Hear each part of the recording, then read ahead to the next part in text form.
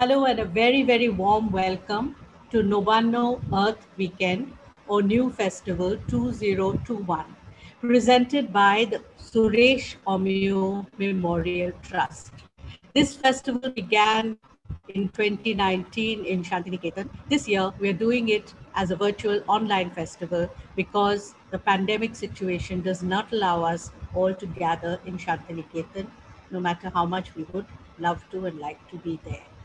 Um, this session this afternoon that we're going to present before you is in memory of the esteemed artist Somnath Hore, for whom 2021 is a centennial year.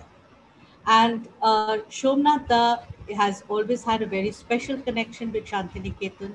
We know him, of course, as a very, very well-known sculptor, but apart from that, printmaking, as well as his sketches and his drawings have given him a very preeminent place in our cultural history. And I'm really looking forward to today's session. As we start, I would like to introduce you to our panelists today who are going to participate in this discussion on ideology and the artist.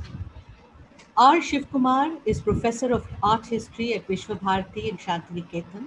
Born in Kerala Educated in Kerala and Shantiniketan, he is a noted art historian, curator, and the author of over 15 books.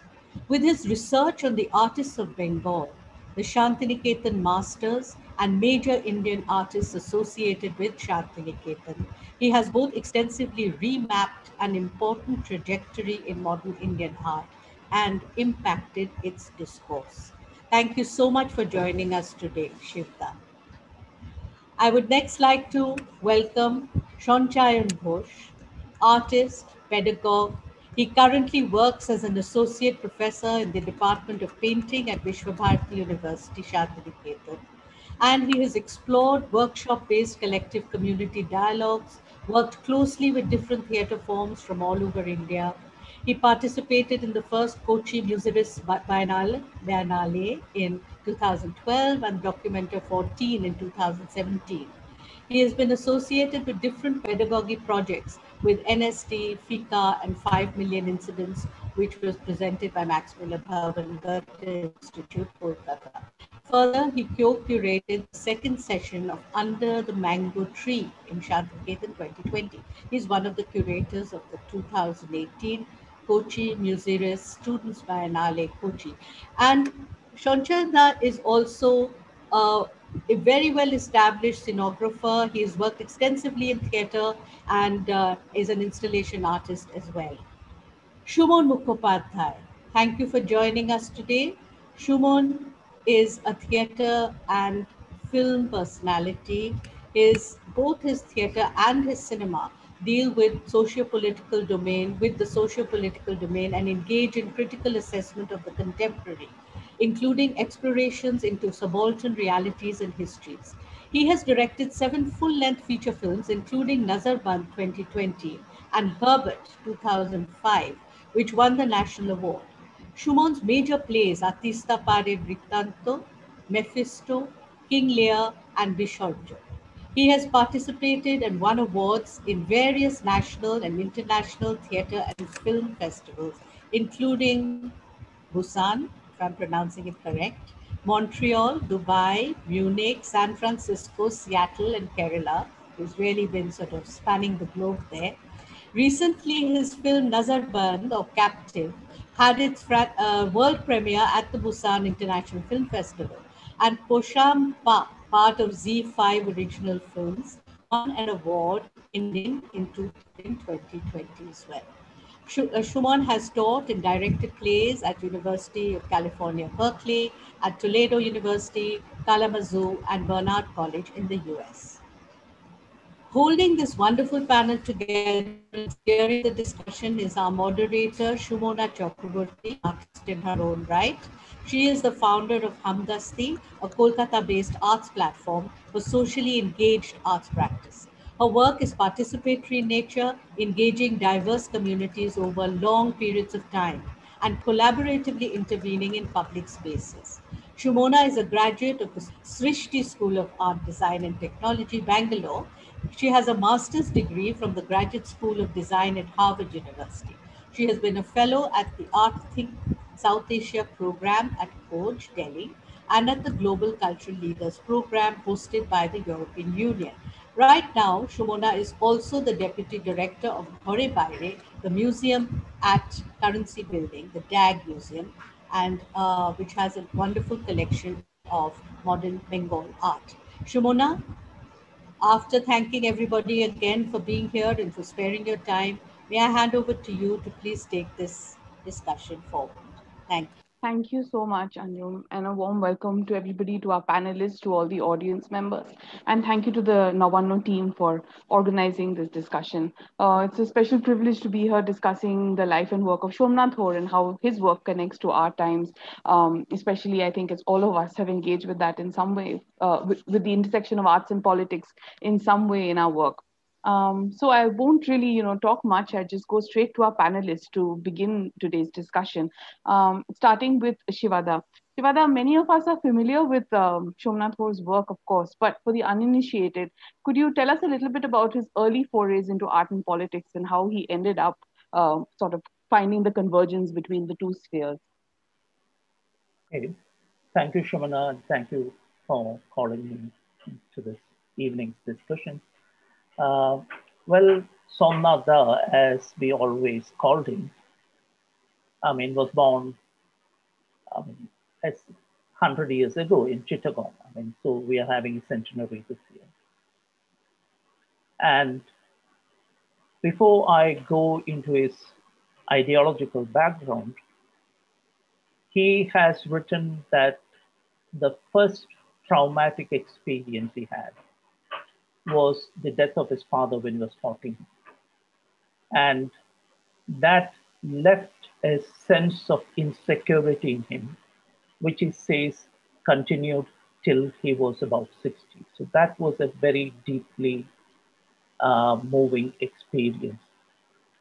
And of course, this even pushed his family into difficult times. And his mother took up charge of the family and held it together very stoically. This is again, I think, something important to his personality in a sense.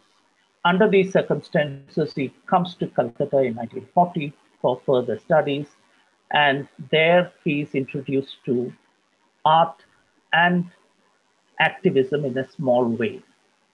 But he couldn't finish his studies. He has to rush back to Chittagong because of the Second World War situation and the fear of war. And in 42, he goes back and there he encounters first the disasters of war and then of famine. And it is here that he begins to draw more seriously. Guided by Chitta Prasad, he begins to document the famine and his documentations of the famine gets printed in the journals of the Communist Party, and that's noted by various people higher up in the rank. And with the encouragement of P.C. Joshi, he is enrolled in the Calcutta Art College in 1945. And there he gets to see Zainul Abedin, who was a very young teacher at that time, and he's bowled over by his famine sketches, which also reveal to Somnath his own technical inadequacies. So he has Zainul Abedin as a model for some time. While he was a student in 1946, he goes to document the Tebhaga movement and the next year in 47, the tea garden agitations. So both these are in the nature of documentation, but you can see there a movement from suffering to agitation to an assertion of the need for social justice by these suffering people. So it's it's one of the most optimistic aspects of his work. And then of course as you can see, what happens in this period is that his existential sense of personal suffering gets transformed into a sense of collective suffering, and the causes of which are social and political. So I think this was a very important uh, shift, and this is the basis of his ideological commitments. Of course, in 48, we know the Communist Party is banned and he goes underground at the end of that year with many others. He remains underground for more than a year, then he comes back, then he begins to work in Calcutta in close ties with the party. But in 56, he decides to break his official ties with the party. He doesn't renew his membership.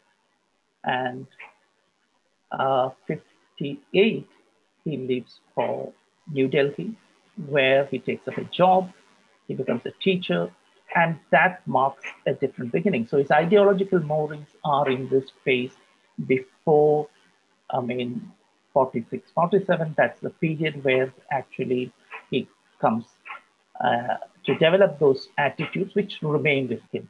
When we connect these early years of personal tragedy, um, of you know this mentorship under Zainul Abedin, his extensive travels, and then his search also, you know, like you said, for uh, uh, his, his personal journey also to overcome his inadequacies as an artist or in search of a kind of formal excellence or a new kind of formal experimentation leads him eventually to some of the works that he is now better known for that perhaps all of us have seen and, and internalized in our own ways all the members of the panel. So how would you connect some of uh, could you talk to us about some of these uh, later works, which you know have perhaps had okay. a personal resonance with you, um, and how it connects back to these early years of politics and personal okay. loss and agitation.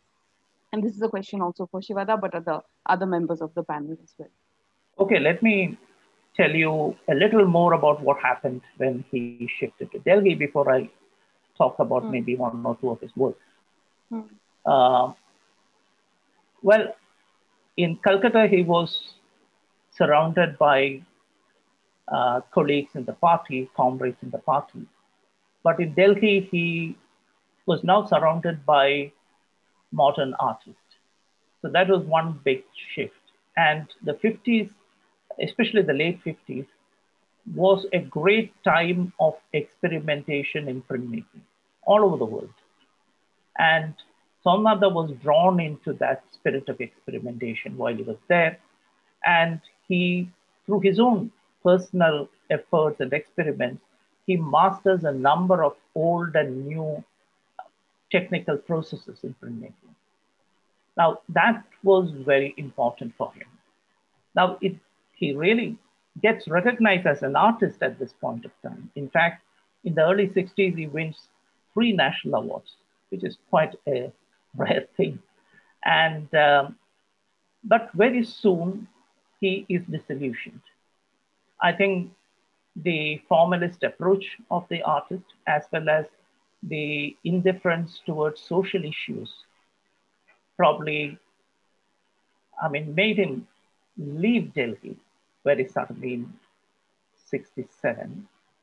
And a year or so later, he shifts to Shantiniketan, where he lives in relative isolation from the art world for the rest of his life.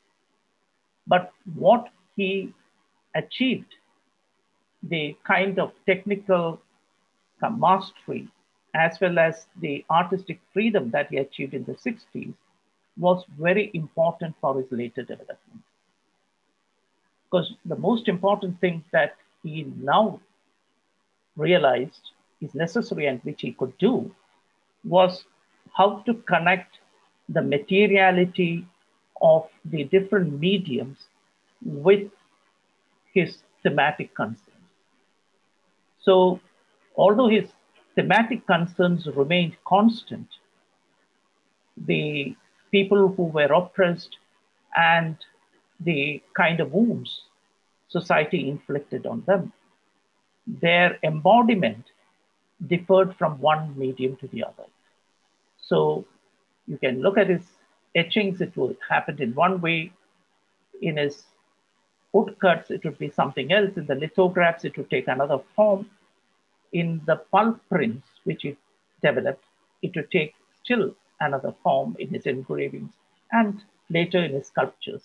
So, which was important because that allowed him to kind of keep that fire alive in him without, I mean, kind of lapsing into tedious repetition, which is a problem. If you think that if you're stuck with a theme, with an idea, you can be obsessed, but in the repetitive process as an artist, you can go blunt.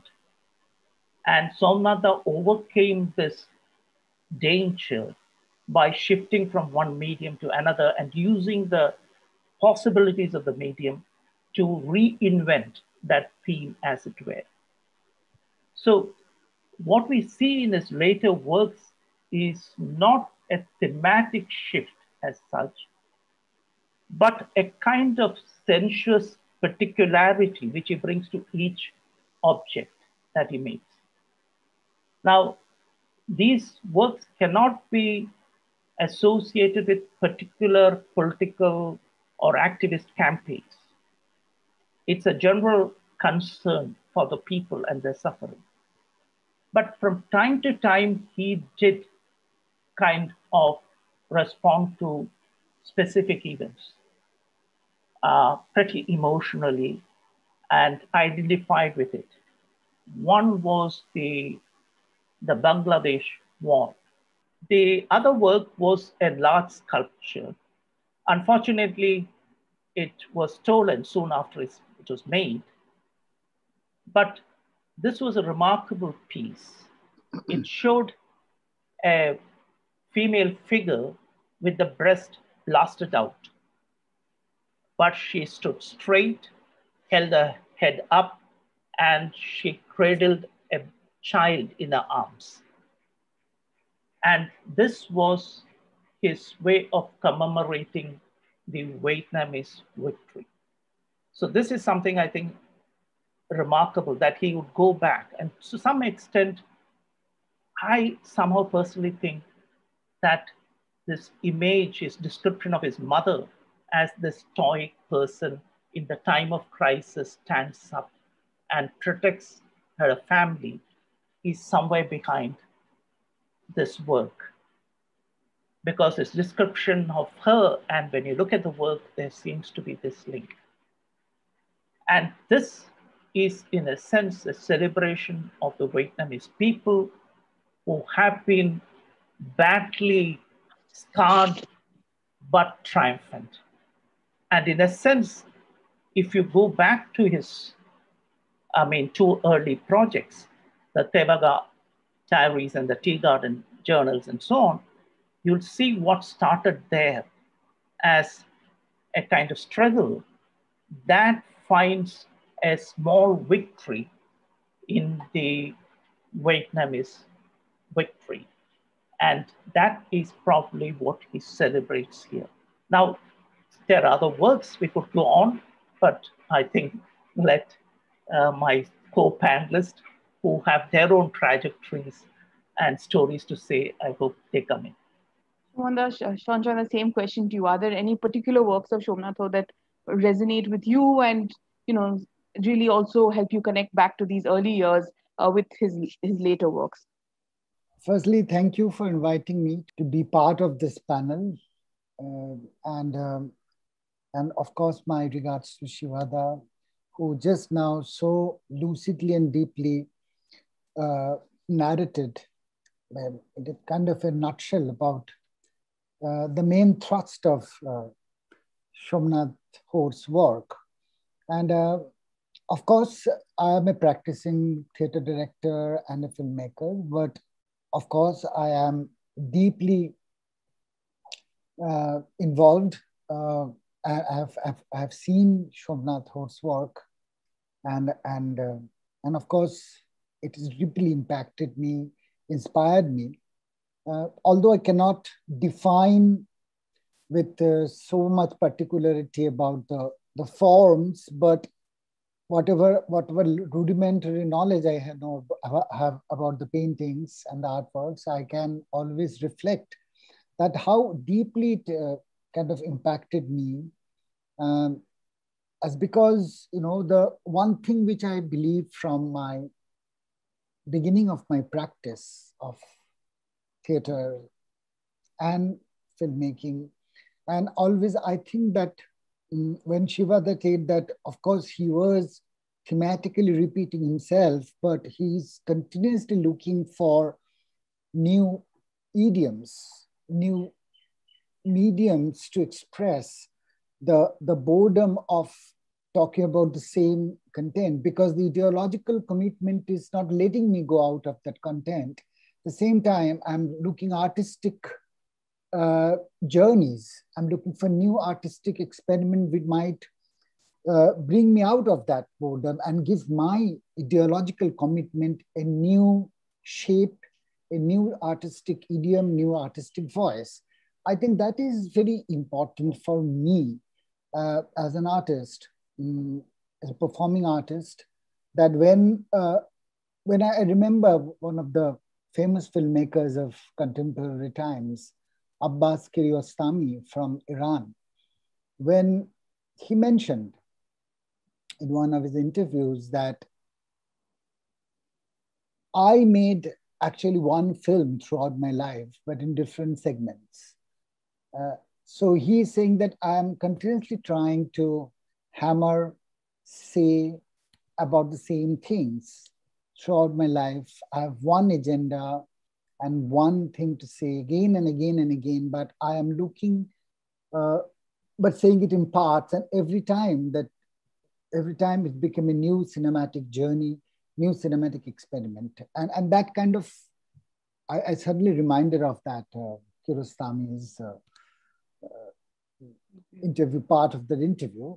And, and about the, I think the project Wounds, which which I saw when I was actually trying to grow up as an artist, trying to take as much as I can from the from the world of all kind of mediums, from paintings, from sculptures, from literature, from cinema, wherever, whatever, whatever possible to kind of grasp, kind of digest them and wounds was a kind of uh, what what I felt. It is not about the content, but the, again, which I think Shivada mentioned, the materiality of the the the thing that how he was looking for the different materials and the different processes, different methodologies to confront each and every theme, each and every content. You know that that how we making the political comment through using the material a different material every time.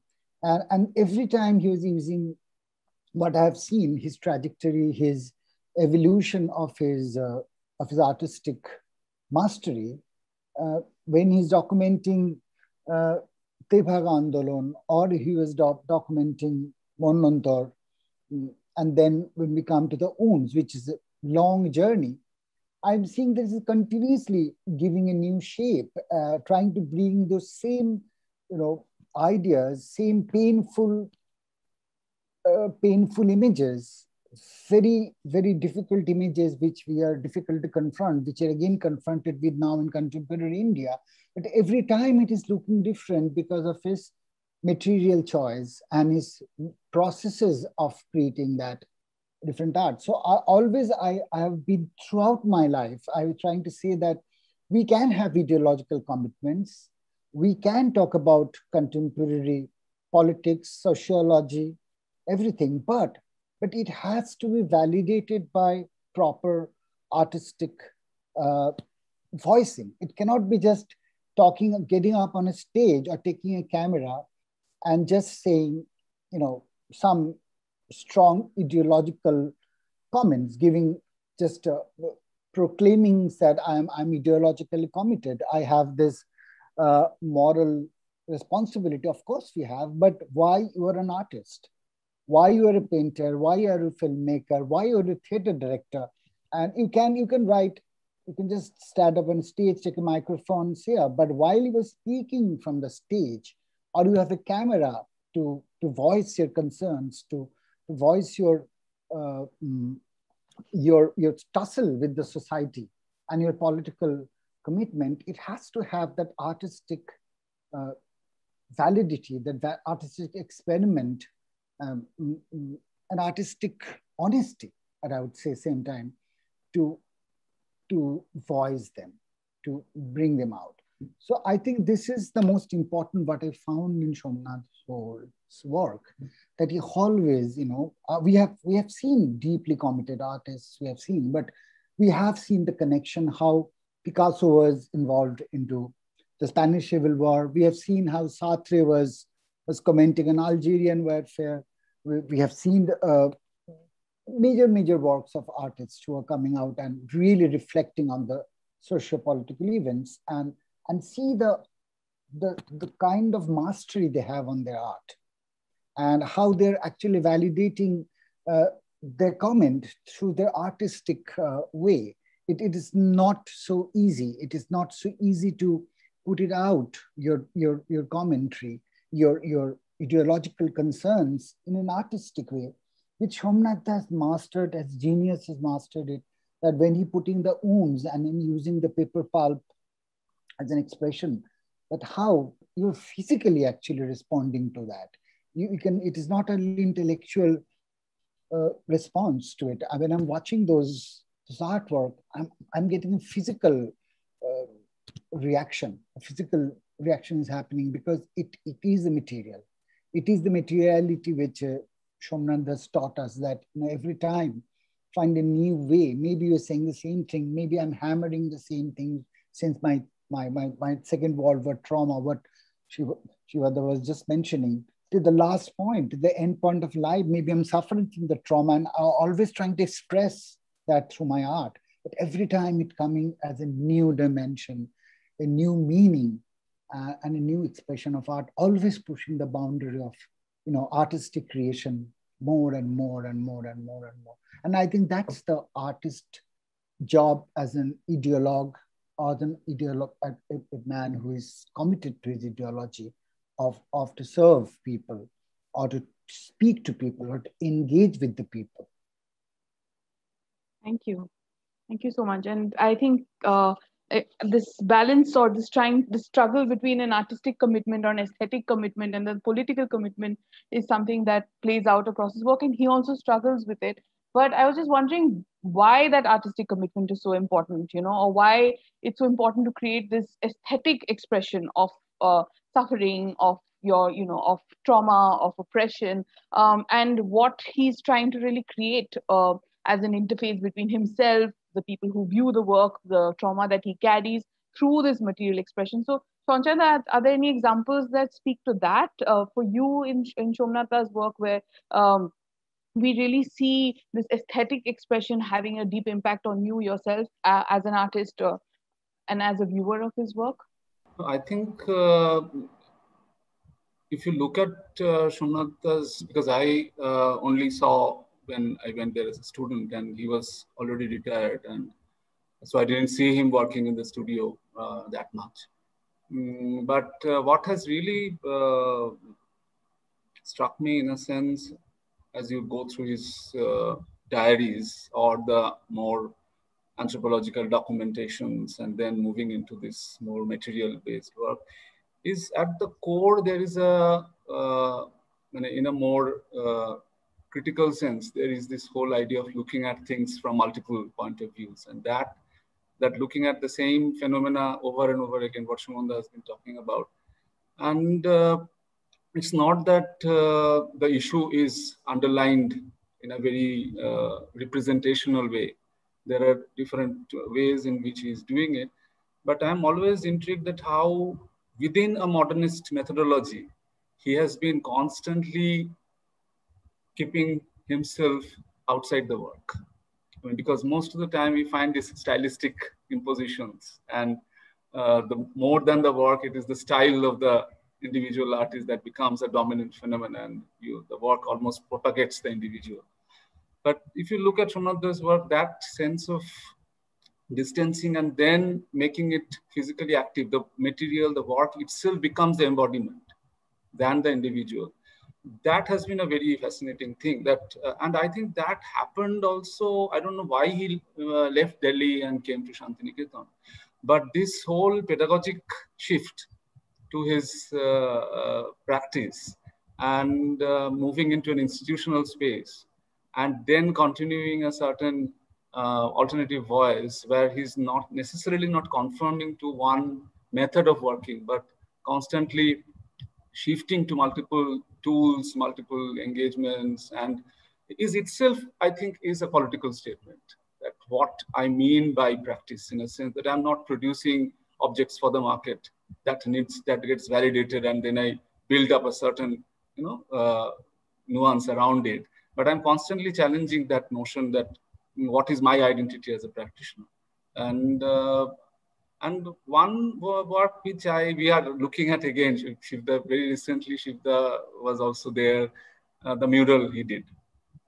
And it, it really, uh, it's not that it is underlying that political statement or it has that image in a sense that uh, which talks about the whole uh, concern of the pain and the whole suffering that he has seen or he has gone through. But that mural, for me, it's a very unique work in context of the Santiniketan uh, methodology of looking at multiplicity in a, in a sense that how he has brought in these different tools to coexist. Uh, it's like a mural as a, as a collage in a sense, but it's also very independently viable. And uh, as we as we today talk about this criticality of practice and looking at things from multiple methods and directions and point of views, I think that mural itself has uh, stands out as uh, a very unique, uh, both a pedagogical uh, work, but also as kind of a statement of his journey that how he's balancing the what uh, Sumanda is talking about also, and Shivda is referring that how he is uh, moving between these uh, two points of these personal uh, experiences of, of certain social phenomena and tool practice itself it's as a kind of ideology. And how uh, that itself just and, and it's not just one work and it's not just one phenomena but it's a span of thing through which you have to read it. I think this is another very important thing that you cannot just judge Somnath Hore with one body of work. You you have to see the overall uh, span and how things he has moved around certain uh, social concern and uh, how he has re-engaged with it over and over again.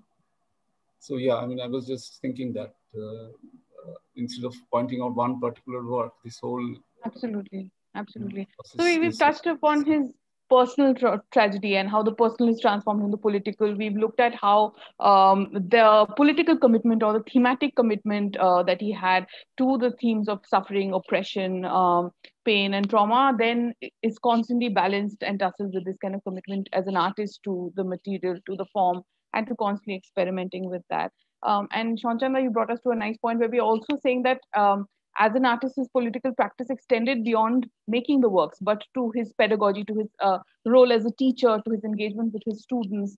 Um, so, and and interestingly, also in his works, the works that say Sumanda mentioned, which is wounds, we see that his choice of material itself is very political. Why is he choosing paper, or why is he choosing print? Um, how is he conscious of the marks and the abrasions that are made in the printmaking process, and translating those marks and abrasions into a, a form that represents pain, trauma, tragedy. So he's very aware of the process, and the process itself becomes a part of the art. And I think that's also something very interesting. And I wanted to ask all of you as well as practicing artists, as teachers, um, how does the process of how does your politics also reflect not just in the subject or in your formal expression of the subject or the thematic, but also in the process uh, in which you choose to make art, who you make it with, how it's made, what are the hierarchies that come into play, and what are the ones that you try to subvert. Um, so how is that reflected? I know in theater, Sumanda, you know, that, that has also been experimented with a lot. So across theater, visual art, and teaching, how does that, uh, the idea of the process itself being political, translate in your own practice? Uh, I think that this is a very important aspect of uh, you know the the processes when we come to the to the to the matter of processes. That I think the process itself, the process itself is the political thing that how you are processing your, uh, especially when we as a theater artist and a filmmaker, you're always working in a group, right? It's a collective activity. Like, uh, and you know, uh, where you have to not only have a collective sensibility to interact with the with the socio-political movements, the dynamics, the political dynamics of the society. You want to, you want to comment on it through history or to contemporary events. Uh, so we are continuously, and we are with a group of people, you're an ensemble, uh, to continuously engage this ensemble to that process is itself a, political act. I think that you don't have to overtly, you know, it is not about doing history classes, political classes. It is about it is about while you are engaging itself in the in the making of the creation of the of the rehearsal process in, in the case of theater and we do rehearsals in filmmaking also and how actually how multidisciplinary uh, you are being to bring your ensemble to one one tune and one motivation which can help you to will can help them to bring out the kind of conversation or kind of engagement you are wanting them with the audience. Because you know as a theater director you are completely dependent on that moment of the of the performance when when the things are actually getting the dialogue is happening happening with the audience. Because that time is completely you are you, you have nothing to do with that space you have you have given some you know you have given you have created some uh, mm, some artwork which is now getting unfolded in front of audience through the direct interaction. So that is very vulnerable. At the same time uh, it can very momentary so theater as an art is there you know that's very important. So you have to you have to be while while creating the process your your whatever ideological base you have but while you are you're creating the process through with your scenographer with your music director and mostly with your actors or your lighting designer what you bring together to bring that ensemble that when they are performing, they are tuned in a kind of one ide ideological commitment. Like when recently I did a play called Mephisto, which is based on the German novel. And I did it definitely, uh, I made it a point that I will do within the elections. I want to, I want to do this play within the elections so I can bring my audience to a kind of you know, to, to bring that memory back to the, to the audience that what was the history, where the history lies. And I wanted to make my ensemble to able to, to, to voice this history with the commitment without understanding that just doing a play for the sake of doing a play. No, they are narrating a piece of history to attain something and remind people of something and it became interactive you know immediately the you know the, the moments of theater pieces the moments of history and immediately people are taking me you know i remembering that comment of that politician when you were citing that. So i think that know, why didn't you say that? Somebody asked me. Well i didn't say that because your dialogue is going on in your mind continuously. And you are continuously reflecting and uh, you know engaging with that that moment. And that's important. So i made it a point and i see it worked. You know when people when when the when the entire ensemble was through a process of creating we did it only 10 days to tell you very to very um, truthfully honestly we did the entire process in 10 days it's not a matter of time not a length of time it can be one year it can be 10 days but when we're, when we're together in a process to address the dynamics to address the socio-political agenda. And when we're together, the same tune, it started working, you know, automatically. It, it is an organic expression which comes, and you have to depend on the organic, you know, subconscious to work on it continuously. And that's why the trauma, memory, your personal experience is so important to be part of your ideological construct. You cannot throw them out. They have to be part of your you know, whatever theoretical reading you do, that will only sharpen your way of reflecting your memories, your traumas, your deep subconscious, your deep fears, your deep uh, joys. But you have to continue to sharpen with the theoretical understanding.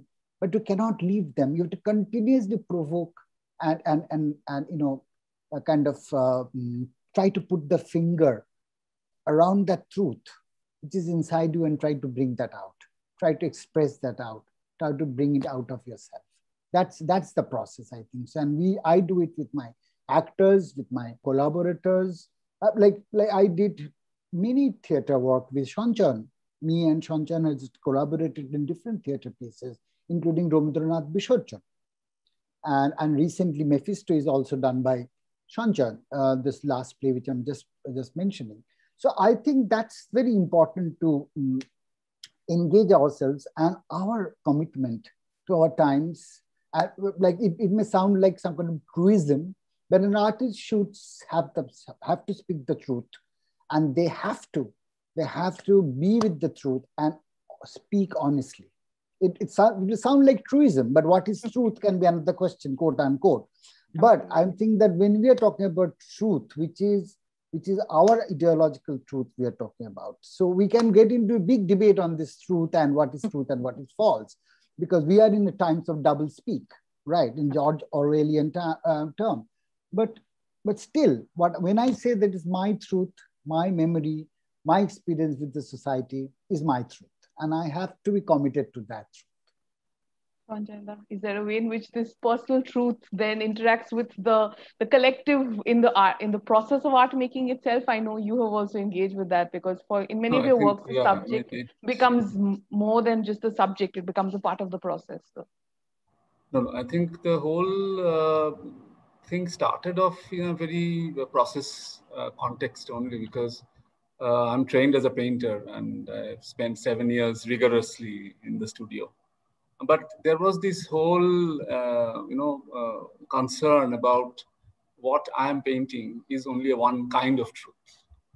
And I'm engaging with the material, with the object, with the life around and it has its multiple histories, multiple relationships, and multiple. So I was always thinking that how to engage in that framework of these dynamics when I look at certain entity or certain object. And this uh, led to uh, this uh, idea of engaging with different uh, memories, different histories, and uh, and of course the, my experience with Badalda played a very interesting role in this because he his workshops really uh, introduce. And I was looking at this multiplicity around me because Santiniketan is about, you know, if you see the campus of Santiniketan, it's uh, the sculptures, the murals, the architectures, the physical space of the campus, everything takes you into that multiplicity in a sense that you encounter, constantly encounter. And also the whole community rituals, you, you engage with the landscape in so many different ways. You enter into it in so many different ways. And I was looking for a methodology, how this whole uh, dynamics could be incorporated in the artistic method of, of the process of making also. And Badalda's workshop really gave me that uh, insight, you know, how that process can be a shared process and how uh, the process can emerge from collective participation and where the idea or the notion that I'm introducing or I'm learning from the group can become a starting point, but necessarily doesn't become the end of it. And it grows into uh, a different direction. And um, of course, uh, coming in contact with theater in Kolkata and then trying my own process of installation performances in different locations in Kolkata in the 90s, late 90s, was giving me this shape of a certain methodology of how to engage. And I was slowly more and more convinced that I'm more interested in a space where there are a collective uh, engagement of different perspectives, different point of views coming together. And I'm becoming one of those shared entities, you know, and uh, depending much on how things can configure. Uh, but then joining Kalabhavan also gave me another very different perspective that uh, the whole idea of the pedagogical uh, notion of this whole circularity that Tagore is constantly, that you are in the circle in the sense, and Badalda is also talking about the circularity, that it's a democratic space of learning together and failing together, which is so much important. Uh, so, uh, so today, uh, if you look at the way I want to work or the way I work, I just cannot work alone.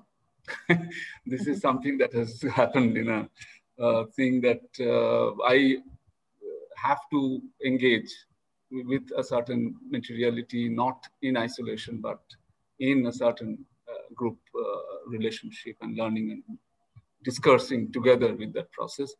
Uh, so uh, institutional space becomes a very important space to engage. I mean, not from outside, but from inside that how much, whatever form, because institutions are becoming so also very complicated spaces uh, because, but still I feel that institutional spaces are the few possible spaces of multiplicity. At least you will find multiple voices to come together to engage and you can at least have some conversation. You cannot, I mean, the outside world is becoming very difficult in a sense. so, um, so for me, it, it, it moves back and forth and I look at pedagogy as a very active method in the public domain. And I think you as a practitioner also must be feeling it, that how this, uh, uh, you know, participating in a certain existing uh, process and with these multiple memories and fragments coexisting together. And as a practitioner, you are just uh, trying to uh, make uh, space within it and trying to propose certain possibility and then the possibility becomes something else. So this uh, becomes a very important criteria. Uh, so I can just show you one or two uh, experiences of mine in the sense. This is an interaction with the, because many of the time what happens that uh, you engage with the students, you discuss a lot of issues, social issues that is going on around you, and then there are possibilities where you can also uh, have a certain conversation with the public spaces outside. And this was a in situation where I got uh, an invitation of uh, to generate an artwork uh, in response to what is terrorism and what is happening in 2009 when all the galleries in Kolkata came together and they thought that they should address these issues collectively. Uh, so uh, for me, it was a very uh, challenging uh, project in a sense that as a person, I have not really experienced terrorism. So I have read about it. I have not met a terrorist as such, and, uh, and have not been really. Uh, it's, it's only media-related informations, and what you configure out of a mediated information is always multiple truths. I mean, in what way it happens. So it was important to have a physical engagement with it. And uh, fortunately, Kalabhavan is still a very national uh, institution where people, students comes from all over the country. And in that time, there were a lot of students who were coming from Kashmir and then northeastern uh, borders of India. And so I just uh, made a poster in the campus and asked them that if students who are from these areas, if you want to have an interaction, uh, can we have a meeting? And then most of the students came from that. And I then I proposed to them that I have got this proposal from the gallery. So would you like to join with me? And we can together uh, explore uh, your memories and my memories together in a certain process. So uh, they sort of agreed to share it in the campus. So we did group interactions, basically recording their personal memories of living in places which are quote unquote termed as terrorist spaces and their interpretation of how they look at this word that uh, whether it's your ter terrorism or my terrorism in a sense and th these debates came up. And then it was important that uh, but this was happening in individual groups. So i sort of that to bring them together in a group interaction. So in kolkata this space of Gandhar art gallery was given to me. It was the bedroom of Sudipta Di, Sudipta Sen so she was very kind enough that, okay, I'm giving you this bedroom, you can work here. So uh, there uh, we had a workshop about these interactions. And so now all these uh, in individual group interactions, they came and we had a game of storytelling. Of course, derived from Badalda's uh, numerous games on uh, group interactions and telling your own narratives you know, and then we had a whole day of interactions. So they were uh, sharing each other's point of views. And then it came to a point that how do we register these memories? How do we register it in the space? So, uh, so these are the students, they uh, sort of wrote and they made a brochure for themselves that why they came to Santiniketan to study, what was the reason they left their homeland and came for higher studies. And then uh, we thought of, they thought of uh, doing some writing and scribbles. So I sort of told them, okay, then you use this room, this uh, the furnitures and everything are available, but I will not define where, who will write what. That you have to, as a group, discover for yourself how much space you want to occupy. So that itself became a workshop. Okay, how much they were occupy a space, how much would leave for the other, and in that whole process, this. Uh, so in the room there was a window. Uh, in that, uh, the all the individual video projection recordings that we did in the campus that was shared and uh, this uh, room then became a graffiti site for uh, the students. They decided like where to write what and how over, they, it overlapped with each other's point of views. The whole uh, space within one day became a kind of a graffiti drawings by students from different point of views that came up in the room. And these are some of the drawings that uh, came. So they did also small performances. Somebody was interested in narrating poems. Somebody was interested to sing some ghazals. So all the things happened in this room. So the room itself became a site uh, to develop their own ideas. Uh, and parallel to that, I was also doing my own uh, research, okay, what is uh, terrorism in a mediatic definition or what are the different ideas that are floating. And then I came to know about this whole concept of butterfly effect, that the small flapping of the wings of butterfly can become the cause of a tornado.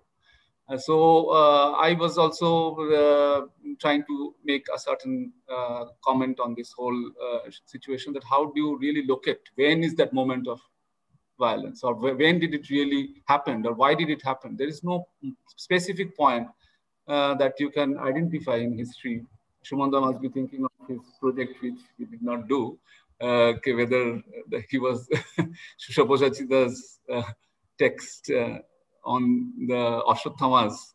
Uh, and then finally, there was a butterfly garden that was installed, which we got from the um, uh, Science City in Kolkata. They were kind enough to give us a butterfly plantation and then butterfly planting their, their eggs in 21 days, and that became a process of experience. And these are some of the works which were made by the students. So it was a group interaction which we shared together in the site for the public. So transferring it from a kind of a pedagogical interaction to uh, public uh, intervention in the location. So, you. so you try to move back and forth in this kind of uh, situation. Yeah. Thank you so much, Sumanda and Chanchala, for so beautifully illustrating the fact that you know the process of making art is just as political and needs to be just as carefully thought through. And perhaps that's where a lot of a lot of its power and potential also lies. But um, since we're nearing the end of our discussion, I'd like to go back to something Shivata said in the beginning about the optimism. Uh, you know, I never looked at uh, Shomnada's work as optimistic in that sense, especially his early works. Um, and um, also this, you know, this commitment that we've spoken on and on about about uh, you know to uh, the artistic commitment along with the political commitment. But you know in, in a moment of crisis like this the one that we are facing or we sort of seem to be facing for the last um, x number last many years um, and has built up now to this sort of extremely dystopic moment what is is is optimism still an important tool um, and also in, in a moment of crisis like this do do we are we forced to put aside like our artistic commitment and commit uh, you know strongly and, and, you know take do do whatever is necessary whether it is giving lectures on a stage or you know forgetting about our art practice for a bit uh, is, is, is, that, is that put aside or is that still important? Is that artistic commitment to material and form and optimism still important? Um, and Shivada, if you could just speak a little more about this spirit of optimism and then I can ask uh, Sonchanda and Sumanda also to come. Well, I mean, uh, unless one is optimistic, I mean, I'm not saying it in the sense that we now hear one has to be positive, not that. Yeah. One has to be optimistic deep within oneself somewhere. Otherwise, why should somebody like Somnath Hore spend a whole lifetime, I mean, documenting this suffering? Because there should be a hope that there will be a light at the end of the tunnel someday, somewhere. Otherwise, there's no meaning in spending one's life doing it. So that is what optimism means to the activist who is probably continuously seeing failures. So I mean, people like him are deep down, they don't probably represent anything that would look optimistic to us. Rarely, if you look through his entire career, you might see one or two instances where he possibly sees something positive happening, but rest of the time you might think it is suffering gloom that overpowers his career. But if you want to pers- continue with that, persist with that, there should be a hope within himself. Otherwise, that would not happen. I mean, I think all these artists who are in most difficult times working are working with that sense of optimism. Sumanda Shonchana, do you feel uh, that sense of optimism that that you are trying to hold on to, and you know how does that um, how how how do you see your artistic commitment? You know, do you feel like it's kind of bearing, being able to bear the weight of what's going on, um, or do you sometimes feel like putting it aside and uh, finding other spaces for politics outside your art as well? No, you know, I I think that there is a we as an artist, you have to always put yourself in some kind of historical perspective.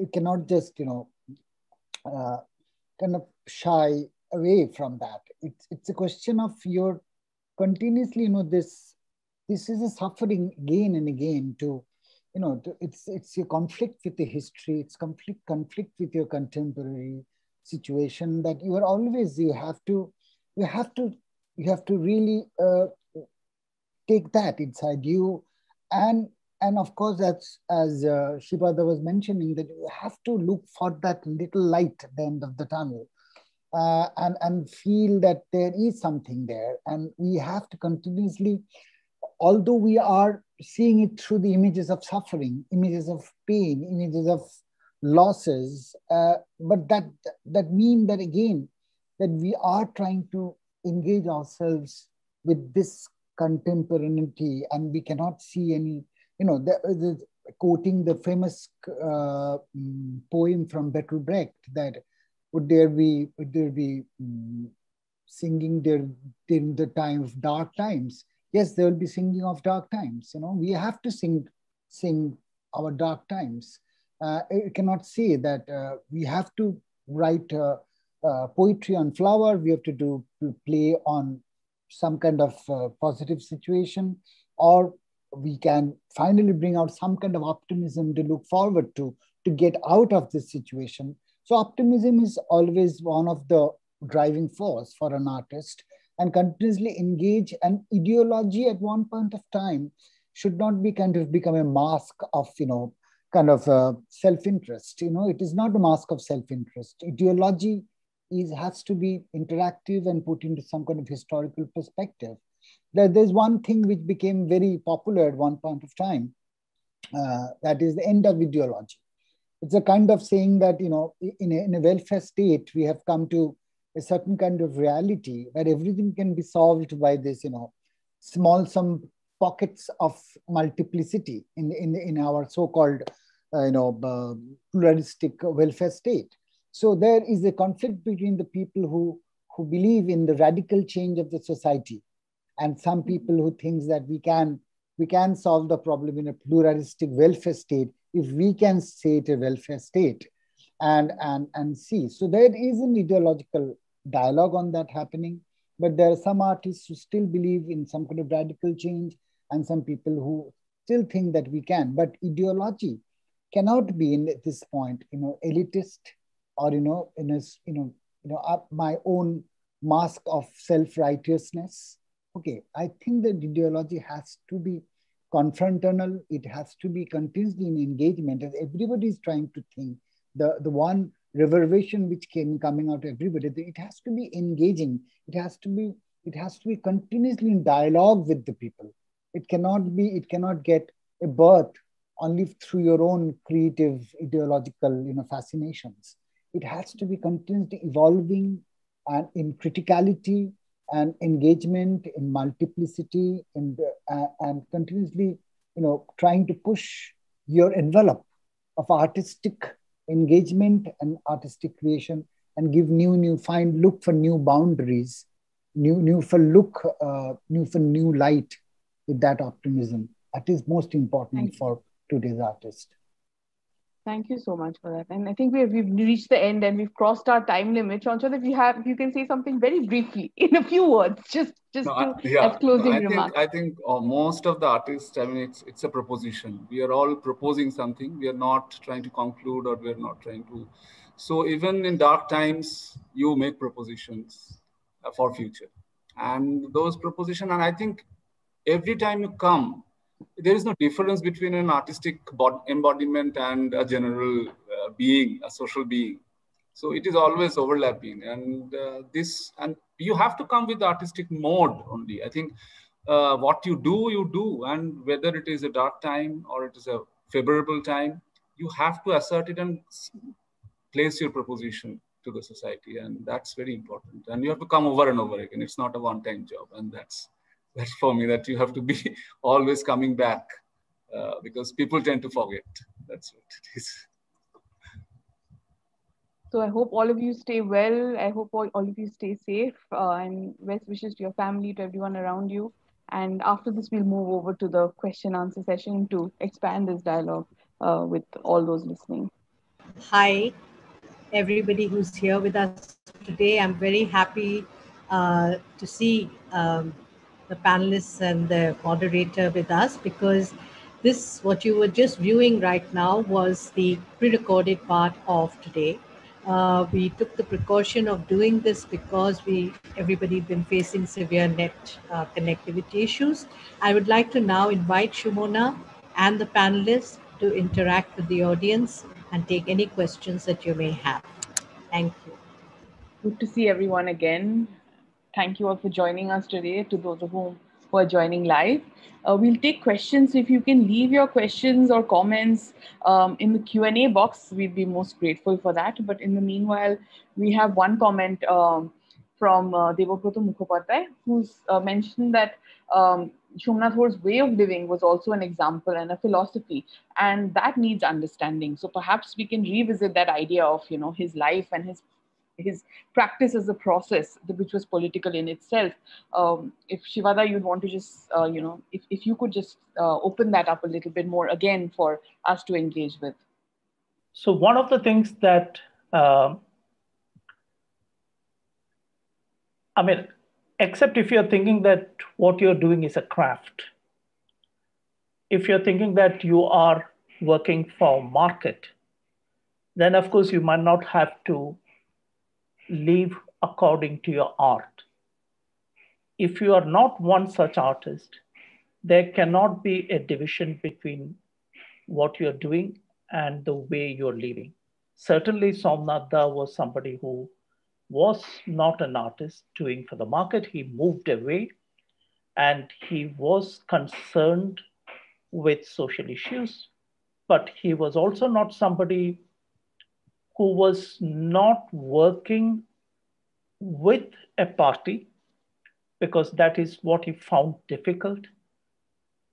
And that too was because he found socialist philosophy and socialist parties moving in different directions. So it was that eagerness to live by one's belief that made him move away from both the cities, the art world, as well as, I mean, association, direct association with political parties.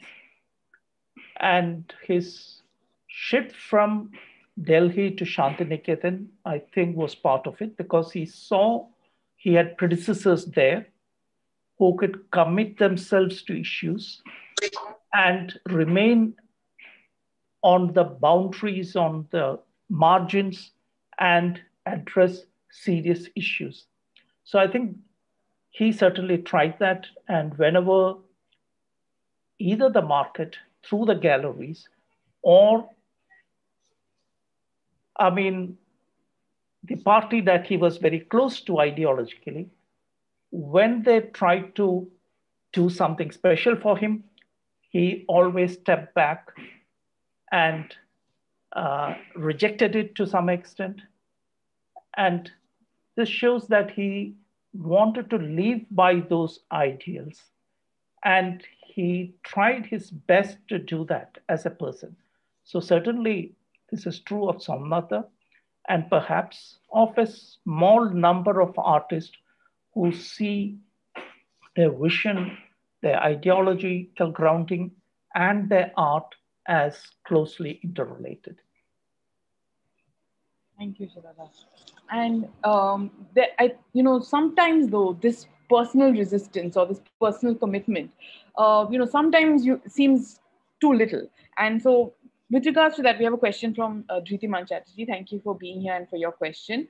Uh, in these dark times as artists, how do we negotiate, resist the large scale subversion of institutions that we see happening all around us? Is, is this level of personal or collective political engagement enough, or is there a way in which we can uh, negotiate and resist the large scale subversion of institutions? Yeah, uh, I would personally think yes, we need to do something more than personal, but the personal is what we can begin with, each one of us. Uh, because if we don't begin with the personal, the possibility of maybe building up that collective doesn't kind of happen.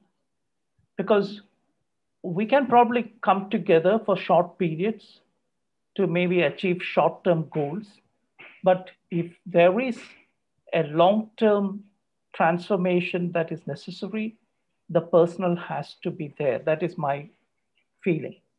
So I would think that these two things cannot be separated, that one can have the collective without the personal. That you would want to address this. Um, no, I think uh, any institutional space operates in two levels. One, which is the internal dynamics which you have to sustain. Sustain it in a sense not as a continuity but constantly revitalize it, readdress it and and there will be challenges which uh, comes from external forces in the sense the governing systems and how uh, it will be run or how it will be operated. And uh, so this uh, and it has happened in Tagore's time also that uh, institutions like Santiniketan has operated has coexisted with both the external influences and bringing in people from outside and uh, then placing them in the present body of uh, pedagogues and then creating movements within the system itself which is i think but that was possible in a sense it was more uh, more privately run uh, institution. But for government institutions it it becomes a very uh, challenging space in the sense that you are not only uh, negotiating with the certain systems that you are bringing in, uh, but you are also trying to find perforations, spaces where the personal can generate uh, moments of uh, can operate as an interface between what is public and what is the private within an institutional space.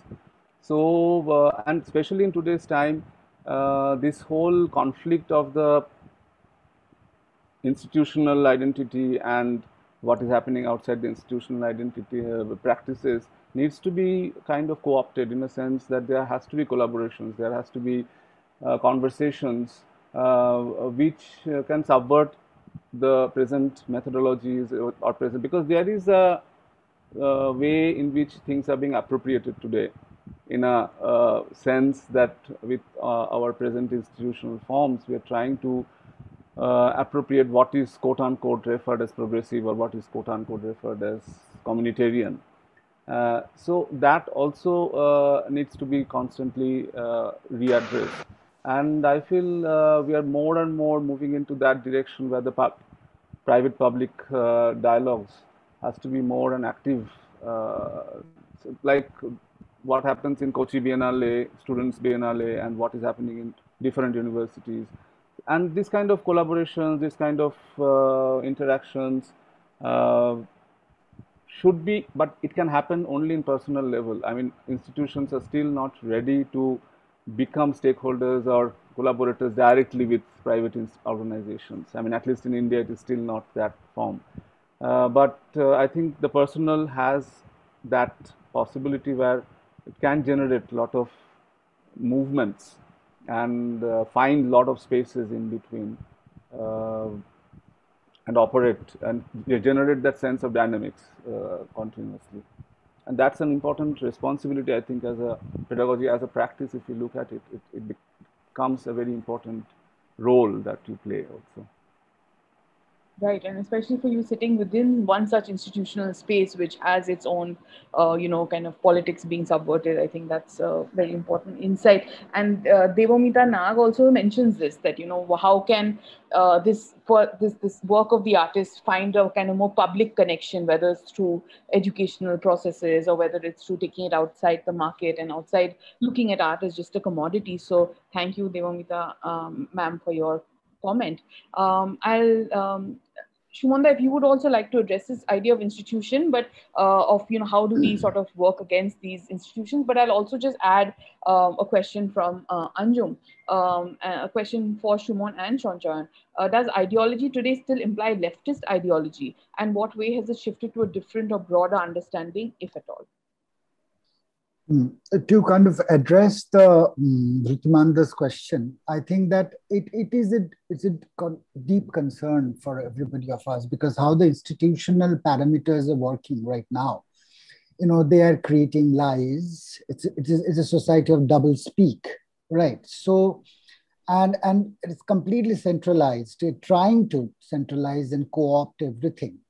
So at, in this kind of context, I think that uh, it's very important because it is slowly, you know, it is also interesting that how we are slowly this this entire centralization process or the or the um, or the methodology of bringing everything to the institutional power to the centralized few heads in the and the in the, in the head of the power.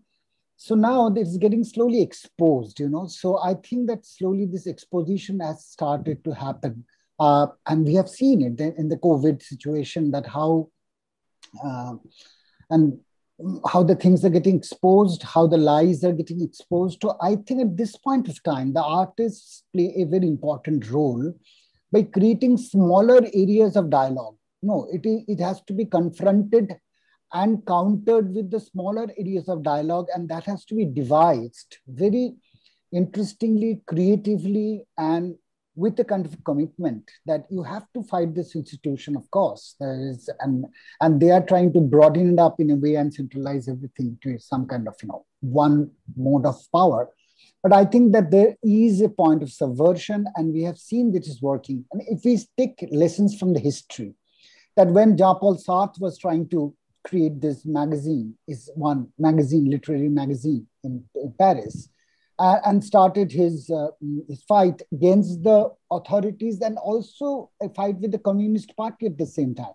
You know, as uh, uh we have been discussing earlier, that Somnatha was never part of any party.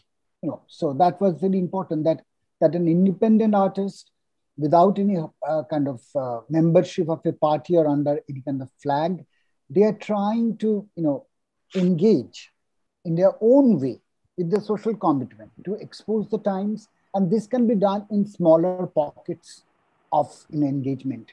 As Rabindranath has only taught us about this, that how we can create the smaller pockets of engagement, work locally, and this will spread. This will have a uh, effect, ripple effect, you know, throughout the society. And we have seen it happen before against any kind of authorities or, you know, fascist power, I think so, but trying to centralize everything. And I think that it has to be consistent and relentless, in this fight. You have to continuously do plays, uh, do activities, uh, and engage people in a dialogue with your art, with your poetry, with your theater, with your cinema, whatever possible form. You know, I think that that has it cannot be done in a kind of isolation right now.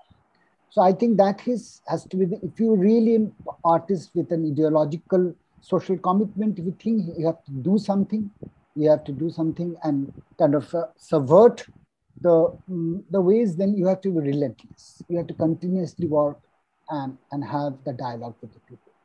Thank you. That's really inspiring and in a way utopic, but uh, I guess that's what we have to hold on to.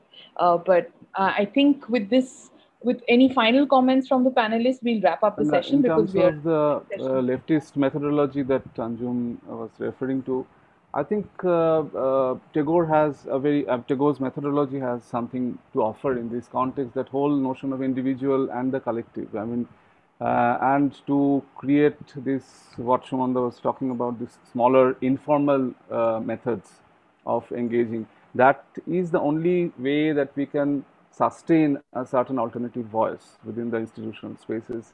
And uh, this informality should go beyond the disciplinary specificity. It should constantly, you know, challenge the closing down of the centrality that Sumanda is talking by bringing in practices together of, uh, and university can become that uh, platform because there's so much of disciplinary rigor that is going on. But what it lacks sometimes is its immediate connection with the reality outside, the locality outside, the context in which it is being practiced in. Most of the universities you will find it's all within the walls.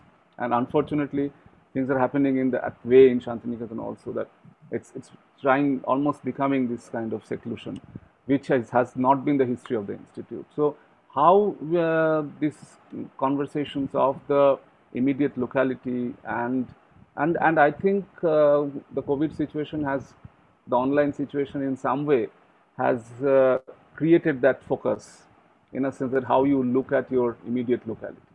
And so when it opens again, I think this going to this methodology will itself emerge as uh, in a new form in the sense that where how the local context of the situation and the institutional rigor can come together and uh, work towards a framework. So that sense of uh, mm, critiquing, that sense of uh, questioning a certain uh, tool or a certain history or a certain process uh, has to have this interface of the institutional rigor and the immediate reality of the locality in which you work and function together.